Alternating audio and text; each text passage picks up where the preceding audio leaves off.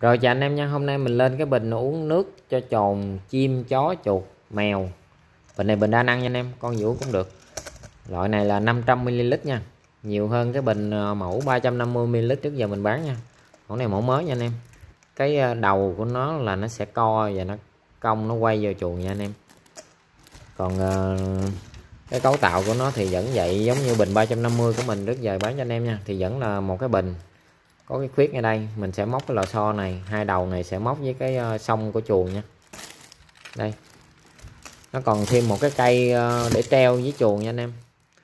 Cái nè cây này anh em xỏ vô lỗ này và anh em móc với cái sông sắt của ờ, chuồng nha. Rồi còn cách hoạt động thì nó vẫn như vậy nha anh em. Khi mà xài xong thì anh em tháo bình ra luôn.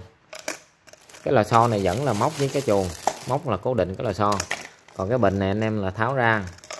Anh em mở nắp ở dưới này ra và chế nước vô. Rồi dặn lại. Mình treo lại vào chuồng.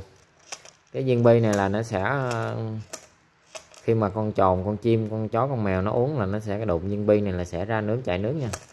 Cái ti này rất là bự nha. Ti này là 6 ly. Rồi khi mà uống thì nó nó nó, nó giật xuống từ từ nha. Đó hết nước thì mình cứ dặn này ra, để mình thay nước. À. rất là tiện nha. Rồi, anh em quan tâm thì luôn nha, sĩ lẻ, ship toàn quốc cho anh em luôn. Rồi, chào anh em nha.